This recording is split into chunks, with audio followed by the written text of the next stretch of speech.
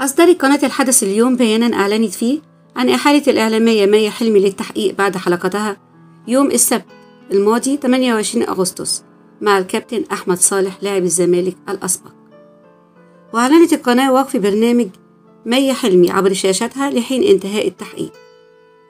وجاء في البيان بناء على ما تم رصده من قبل المرصد الخاص بالقناة بحلقة الإعلامية مي حلمي أمس السبت الموافق 28 أغسطس 2021 وما بدر منها اتجاه ضيف البرنامج والتعامل معه بما يخالف الأصول والأكواد الإعلامية وميثاق الشرف الإعلامي.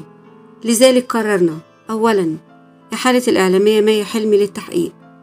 ثانيا إيقاف البرنامج الخاص بها على قناة الحدث اليوم لحين انتهاء التحقيق ثالثا على السيد المدير التنفيذي أمال نص القرار من الآن.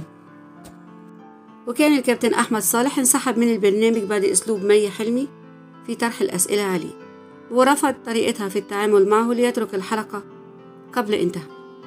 وكان أول تعليق لأحمد صالح لاعب نادي الزمالك السابق أن محمود العسال المستشار القانوني لقناة الحدث ومحمد إسماعيل رئيس مجلس إدارة قناة الحدث تواصلوا معه وقدموا اعتذارهم عما حدث من مي حلمي في برنامجها على قناة الحدث. وجاء رد مي حلمي بمقطع فيديو نشرته عبر صفحتها الشخصية على انستجرام من مطار القاهرة متجهة إلى دبي وعلقت bye bye وأغلقت خاصية التعليقات على هذا المقطع. وعبر عدد من المشاهير عن غضبهم من تصرف مي حلمي وطالبوا المجلس الأعلى للإعلام بتدخل ومحاسبته. هاجم الملحن أيمن بهجت قمر المذيعة مي حلمي بعد حلقتها مع الكابتن أحمد صالح. ونشر أيمن بهجت قمر جزء من الحلقة عبر حسابه الشخصي على فيسبوك وعلق قائلا.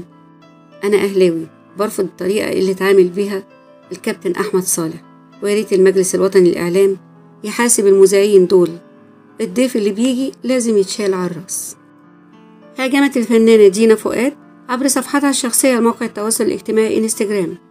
الإعلامية مي حلمي بعد أزمتها مع الكابتن أحمد صالح لاعب الزمالك السابق وعلقت دينا فؤاد قائلة على رأي الزعيم عادل إمام إحنا بقينا في زمن المسخ. بلاش تقولوا إعلامية إنسانة مستفزة وعايزة تعمل فيها جامدة. تحية للمحترم كابتن أحمد صالح. نشر المطرب محمد رشاد عبر صفحته الرسمية على موقع التواصل الاجتماعي فيسبوك مقطع فيديو له وهو يغني أغنيته الجديدة أنا مش شمتاني. الأمر الذي ربطه الكثير من جمهوره بما حدث مع طليقته الإعلامية مي حلمي. بإيقافها وإحالتها للتحقيق نتيجة أزمتها مع أحمد صالح نجم الزمالك السابق عزيزي المشاهد أول مرة بتشاهد قناة ثقافة ومعلومة لا تنسى لايك واشتراك في القناة. مع تفعيل الجرس ليصلك كل جديد. مع أجمل وآراء تحياتي وتحية أصل الثقافة ومعلومة. تابعونا.